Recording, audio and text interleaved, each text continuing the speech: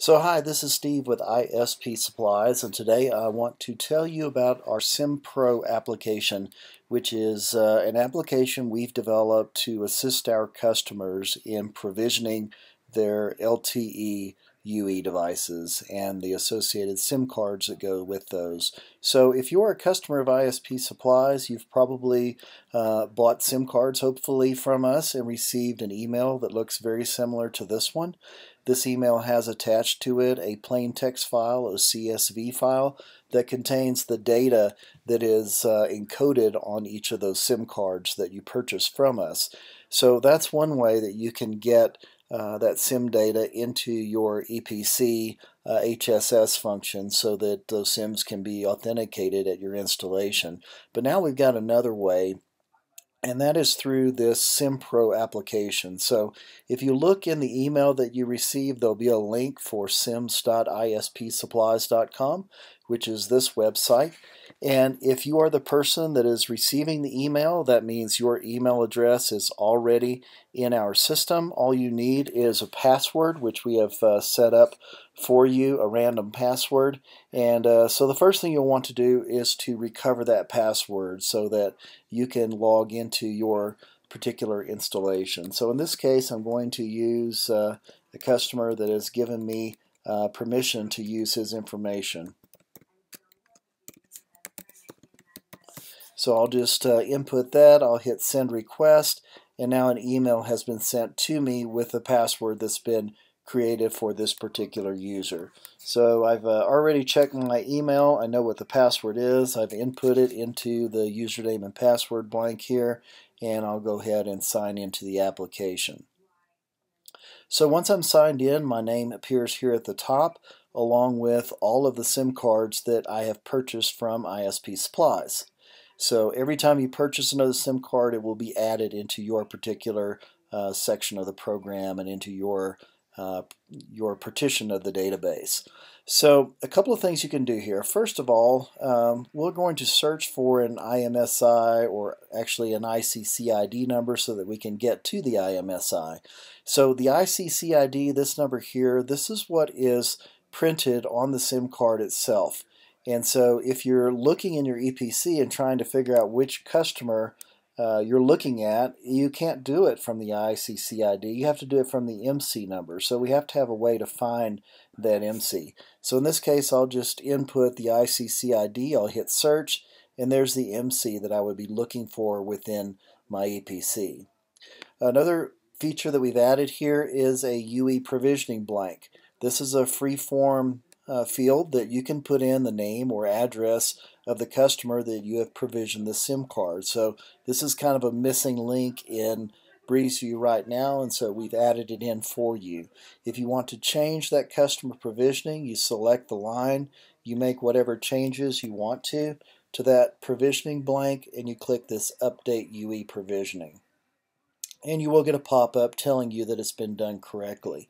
If we want to go back to the beginning, we can click the SimPro link here at the top, and now we see all of the uh, SIM cards that have been provisioned to us.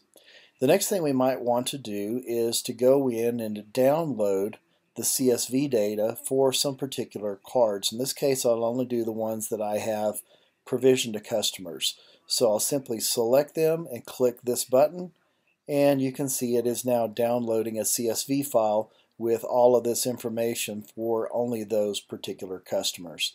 Also from this blank we can go in and make changes to one of the provisioned UEs. So in this case uh, I'll select none of them. I'll make the change I want to make here. Select that row and say update UE provisioning for selected and I get uh, feedback that that has taken place. The next feature that we've added here is one that I really like, and it's the ability to select fields or SIM cards in your database and then create a script for those particular SIMs so that they can be put into your EPC. So to do that, I select the rows that I want to provision.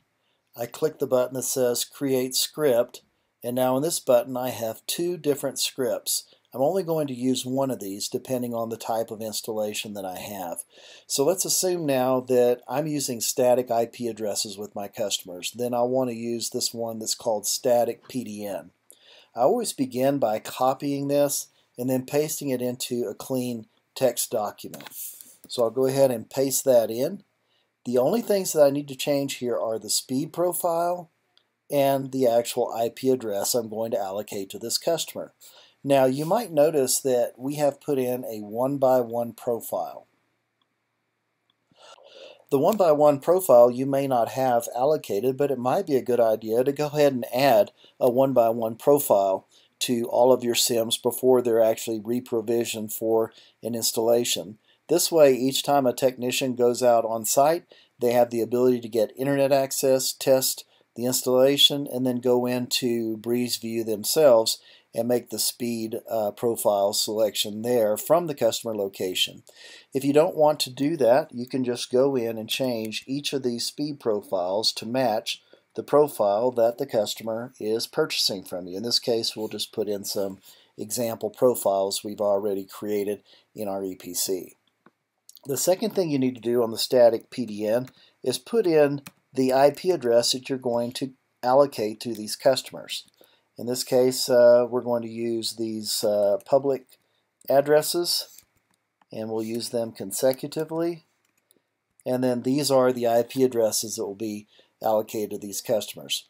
Once you've set those two things, the speed profile and the IP address, you can simply copy that to your clipboard, paste it into your EPC into the command line once you've entered the configure section of the CLI, paste those in, and then commit at the end, and those will be in production for your HSS system.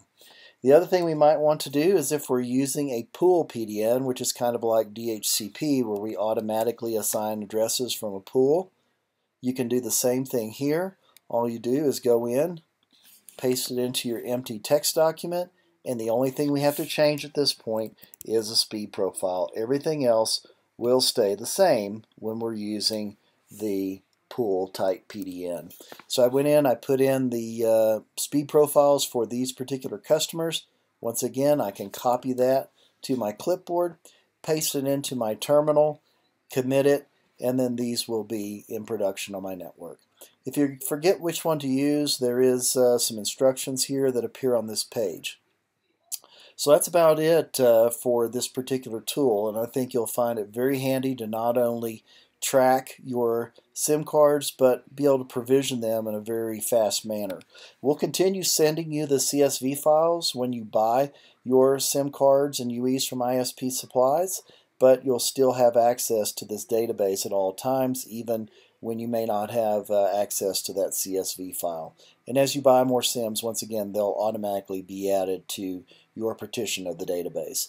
The last thing you might want to do is to change your password, and that can be done from this screen. Simply click the down arrow next to your username, click the change password, put in your new password, confirm it here, save changes, and now your password is saved. So that's it. That is the SimPro application. We hope you'll find it useful. If you have any questions, you can call us at ISP Supplies. Uh, either speak to the guys in the shipping department or our technical support. Either one will be able to help you. Thanks a lot, and we hope you enjoy the application.